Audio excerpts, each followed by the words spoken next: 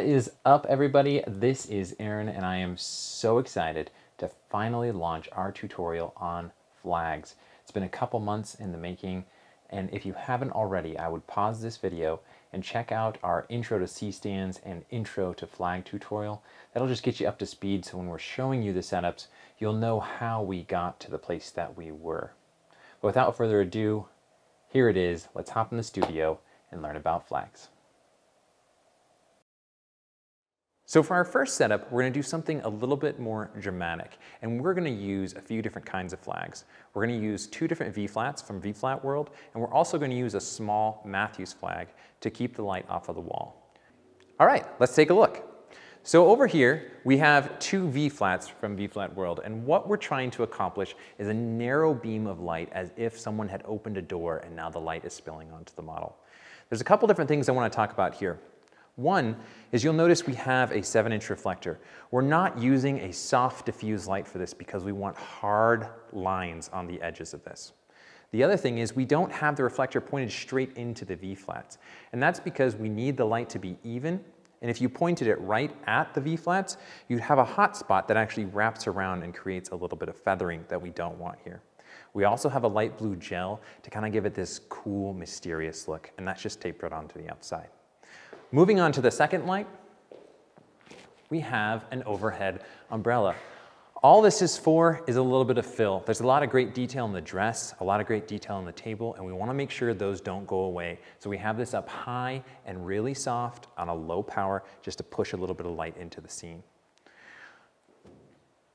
For our final light, we wanted to mimic candlelight. So we have our model Sabrina here, and she's sitting at a table. And we're gonna light this, but it's not gonna put out enough light to actually put color onto her face.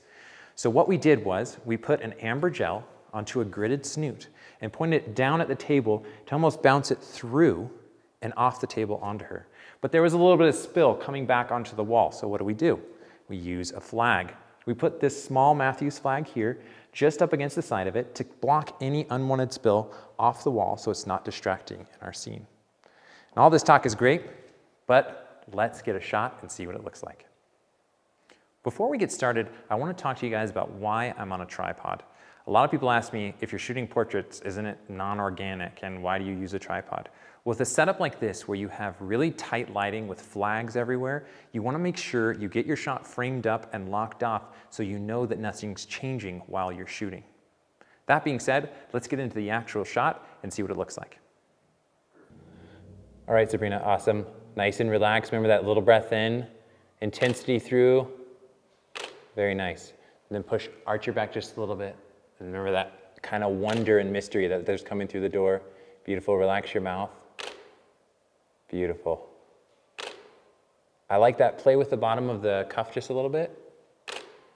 Very good. That looks great. So one of the things I want to talk about is when you're working with a model in a lighting setup like this, the lighting is really tight. So you need to make sure you're talking one through the feel of the shoot, but also where the lighting is. Because if they move just an inch this way or an inch that way, the lighting's not gonna be exactly on. I've talked to Sabrina a little bit before, but you can see as I shoot, I'm also talking to her and making sure that the images are looking the way that we want them to. So let's get back in and try a couple more.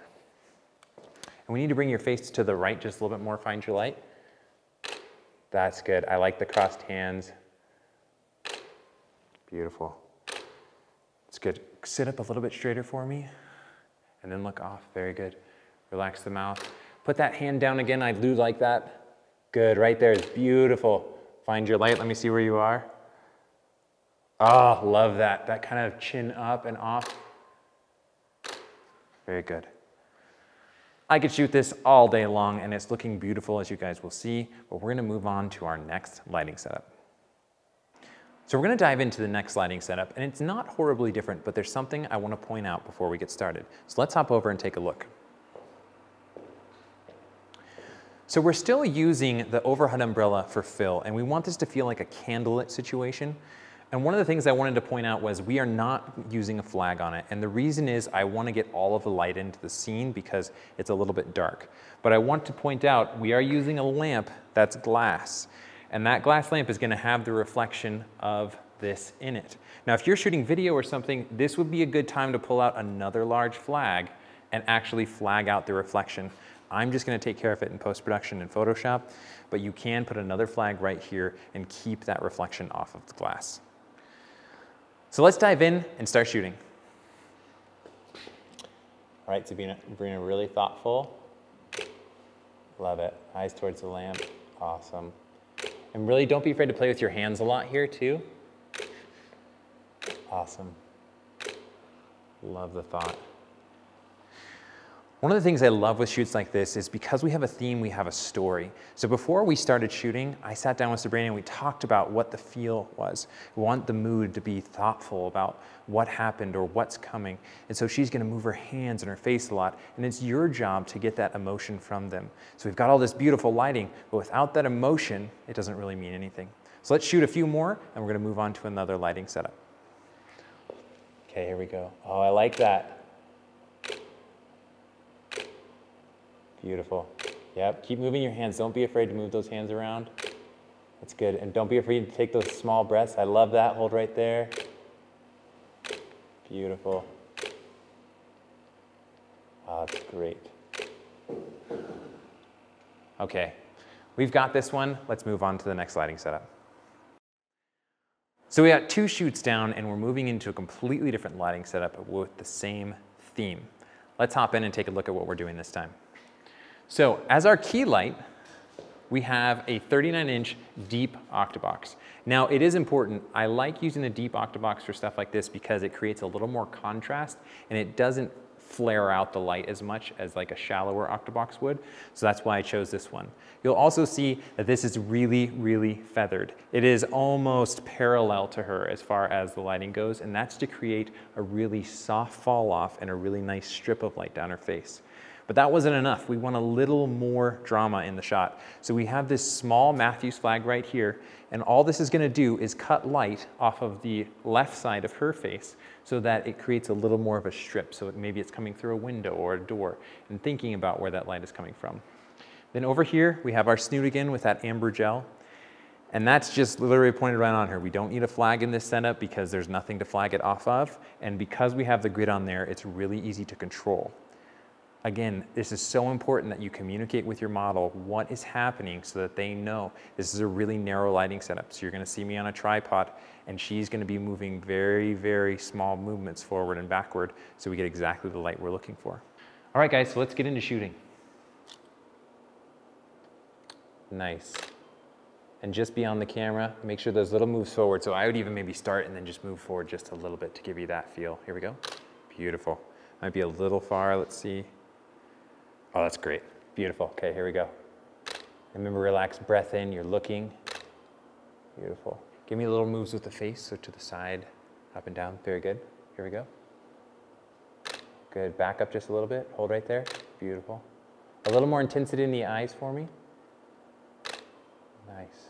Good. Hold right there. Perfect. Come toward me just a little bit. Good. Love it. Right past the camera now and then tilt your head to the left just a little bit. Kind of give it that wonder. Love, come towards me just a little bit now. We got that flag. Awesome. Looks beautiful. Come towards me just a little bit more. Keep your head tilted. Awesome, that's great. So you can see guys, one of the things that you really need to be aware of is the small movements make a huge difference. So when she moves forward, she's going away from that flag and now the shadow on her face is gonna completely change. That's totally fine, but you just need to be aware of it while you're coaching your model through. So we're gonna shoot a little bit more and I think we're gonna get our shot. Okay, here we go. I love that, that's great. A little more intensity in the eyes, bring those bottom lids up for me. Okay, come forward. There we go, that's beautiful. Love it. Now come straight on to me, body straight on. Good, just like that. And look right into the camera, like an eye's kind of sad. Back up just a little bit. Very good, right there. Chin up just a little bit. Very nice. Love it. One of the things I forgot to mention, you guys, is we did put a light blue gel in the key light, so it is giving it that cool vibe. I showed you the amber gel, but we wanted to really mix those lights together to give it the contrast and the feel that we were going for. So we've got that shot, looks beautiful. We're gonna move on to the next setup. Okay guys, we've made it this far. It's time for the final setup and this is a big one. We've done a big makeup change and there's a lot of cool things going on. So let's hop inside of it and take a look. So the first thing that we've added right here is a small strip box with a purple gel inside of it, and that's just gonna act as a rim light. Now speaking of flagging, you can actually use the soft boxes to flag themselves as long as you feather it away from your background. So that's gonna control the spill on the background just by using the edge of the modifier. Then swing around in here. The big change here is we're using two large Matthews flags up top and we're actually creating a strip of light right here that is making a nice soft line down the model's face. Now we also put a grid on a beauty dish, which is really gonna control the spill of the light. And then to control it even more, we put those two flags in front. This is a feathered type of lighting where it's above her and it's tilted down. So you're gonna get nice soft lighting, but it's gonna be very specific and very narrow. And you'll see that when we start moving around. In the back behind me, you'll see that good old snoot that we've been using the whole time. And we just switched that gel over to kind of a turquoise greenish gel to create a little bit different atmosphere and mood for the photo. But now that we've seen it, let's get in and start shooting. So we're back around front and we're ready to shoot. Let's pop off a few frames and see how we're looking. Good, nice and intense. Love it. Eyes kind of down to the camera is better, just like that. Perfect. Beautiful. Nice. And this is intense. Give me that warrior, that intense look. Mouth closed, eyes a little bit more intense. Beautiful. Love it. Guys, one of the things that I forgot to mention that I want to bring up is this white reflector here in the front. And all that's doing is pushing some of the light that's above her back into the feathers and back under her chin. It's still going to be really dark, but it brings out a little bit of the details and makes it a little more specific. And that's something you can do to bring in almost another light source, but just simply put it on a C-stand. So let's get a couple more. All right, awesome. Love the hands. Bring those hands up nice and tense into the camera. Push your forehead forward just a little bit. Love it. Love the intensity. Hold both hands down, face the way it is. Great. Ah, oh, this looks great. All right, guys, well, that's gonna do it. I will post all of the final images with this video so you guys can see what we ended up doing in Photoshop. Thank you so much for following along. Make sure you click the like button if you've enjoyed this content. Subscribe, check us out on Instagram and Twitter. And until next time, be awesome.